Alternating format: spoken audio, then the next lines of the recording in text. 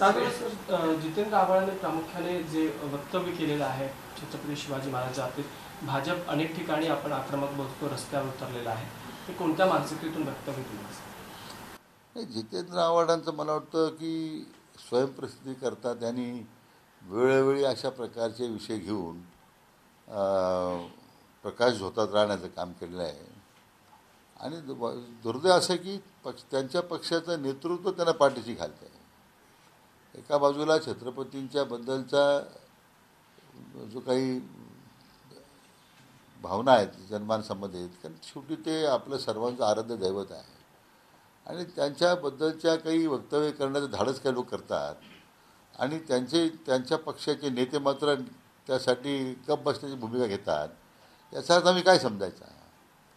म्हणजे जितेंद्र आव्हाडांच्याबद्दल त्यांच्यावर कार कारवाई करायची आम्ही का कारवाई होत प्रशासन करील जनता त्यांच्या ब- विरुद्ध काय भूमिका घ्यायची घेईल पण त्यांच्या पक्षाचे नेते काय भूमिका घेत आहेत? त्यांच्या पक्षाच्या नेत्यांना जितेंद्र आव्हाड जे वक्तव्य करतात त्याचं त्यांना समर्थन त्यांचं त्यांना समर्थ त्याचा त्या वक्तव्याचं त्याला समर्थन आहे का त्यांचं? एक तर ते जाहीर केलं पाहिजे. नाहीतर मग आव्हाडांविरुद्ध कारवाई केली पाहिजे. एबीपी माझा उघडा डोळे बघा नीट.